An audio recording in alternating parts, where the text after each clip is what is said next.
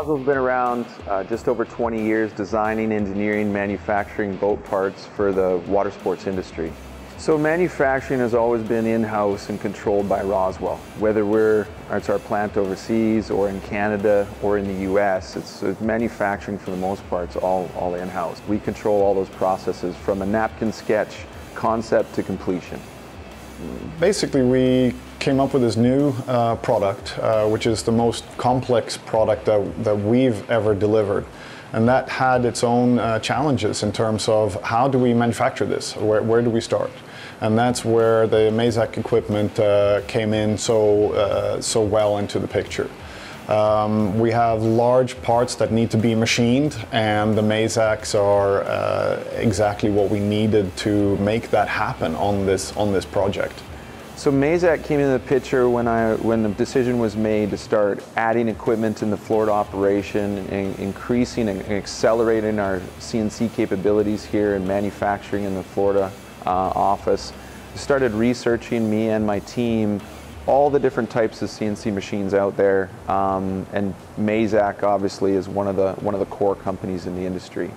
Um, through research and competitive comparisons, I started looking more and more into the company, you know, their serviceability, you know, every aspect of the company itself, and felt like they were the best in best in class. We were tasked with coming down and showing Roswell uh, Global their new equipment and how to utilize their new equipment.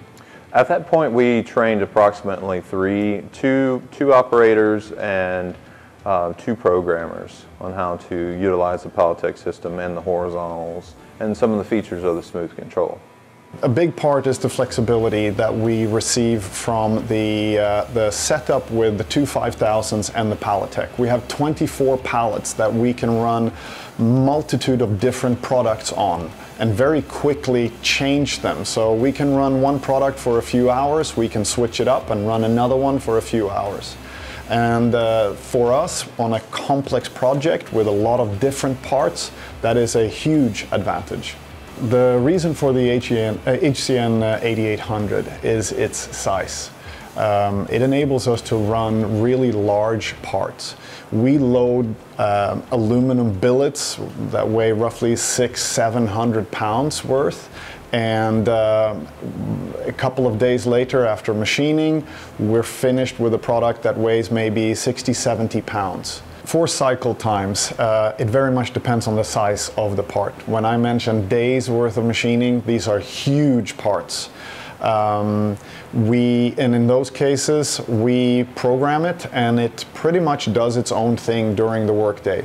Uh, there will be some setup changes, but uh, most of the time the machine is just working away on its own. We, we differentiate or we try to differentiate with design engineering, um, you know, always being one of the first to market with a new design in our, in our niche core industry. Um, the second piece is quality and um, you know, delivering quality parts and, and doing what we said we'd do for our clients, you know, standing behind the products.